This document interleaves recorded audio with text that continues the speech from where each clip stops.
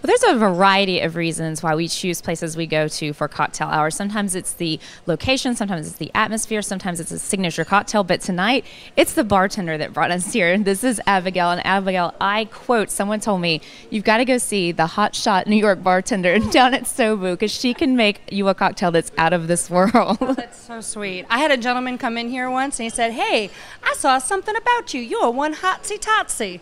I created a drink on the spot called the hotsy totsy because that was just too cute for him. I was just like, Thank you, sir, so much. Well, I'm really glad we came down here. You were the reason that we did, but this place is amazing. It's absolutely beautiful. For people who haven't been here, there's so much to see here. Can you give them a little overview? Sure. I love my bar. I think it's so beautiful. We have such a beautiful selection of wonderful, unique spirits, a lot of small batch and local spirits. When the Sazerac was invented just a couple blocks away from here, this building at the time was the ice house. So I like to believe that those early cocktails were chilled with ice right here. So we have good cocktail juju happening here. right. So we'd like to honor that. The way that things were have been done in New Orleans forever. I mean, I came from New York, but I always admired uh, New Orleans as a city that never stopped drinking well and making really good cocktails. And I feel like I've come home. Yes. I feel quite at home here as well. now, I know you guys are actually aging uh, some spirits behind the bars, all right? Mm-hmm. Yeah, we just uh, uh got uh, lovely barrels in, and we are aging some white spirits because I wanted to see how the white spirits would interact. And rather than have a spirit that's already been in a barrel, put something that hasn't been in a barrel yet, put it in a barrel mixed up, see how it blends together. We are very connected to our kitchen. I like to use um, ingredients that are fresh and seasonal and local, and of course the kitchen does too.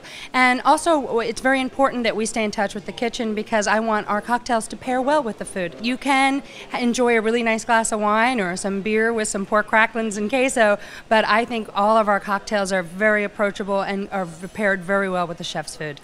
Well, I know looking at the cocktail list, you could literally come here every night that you're here and have something different. And another really cool thing is you could literally sit somewhere different. There's so many little nooks and crannies here. It's a really intimate place. I can't wait to try the food too. I hear it's amazing. And our bartenders are all so well versed in classic cocktails and just creating something for your palate that you could basically come in here and say, well, I like sweet, I like savory, I like something herby, I like something with uh, some spice to it, and they'll concoct something just special just for you. Well, I think I am ready for one of your signature cocktails, and I like a little spice. You think you make me a little something spicy? Absolutely, I will. Let's do it.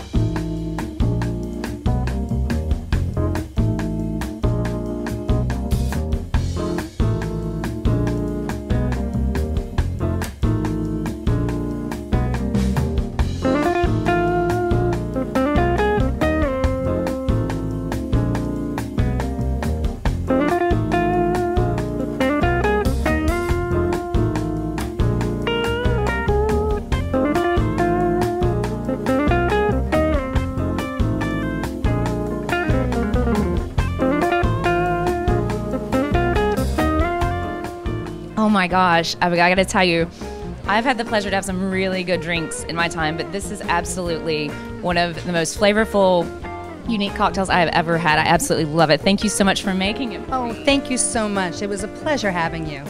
Do yourself a favor while you're here in New Orleans. Make sure you come by Sobou, see Abigail, the hot shot bartender. She can make you your made to order signature cocktail, and it's absolutely fabulous. You're going to love it.